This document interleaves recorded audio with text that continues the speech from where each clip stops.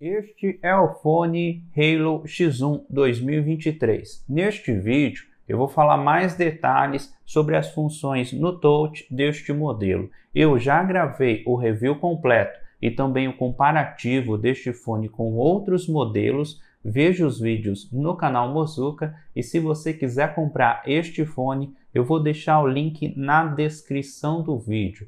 Comprando em nossos links na descrição, você não paga nada mais por isso e também ajuda o canal. Eu vou tentar testar novos fones Bluetooth da marca e vamos lá, vou mostrar mais detalhes sobre as funções no touch deste fone.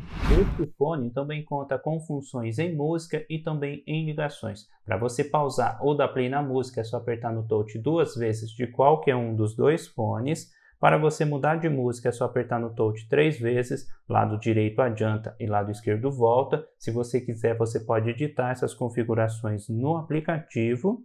E para você ativar o modo game é só você segurar no touch por alguns segundos de qualquer um dos dois fones. Já funções em ligações, para você aceitar uma ligação, você aperta no touch duas vezes, depois para desligar, aperta duas vezes de novo, e se você quiser rejeitar uma ligação, você aperta um touch três vezes de qualquer um dos dois fones. São essas algumas funções deste modelo.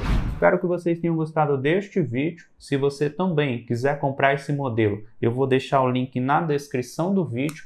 Não esqueça de deixar seu like. Se você ainda não for, inscreva-se e também ative as notificações. Muito obrigado a todos e até o próximo vídeo.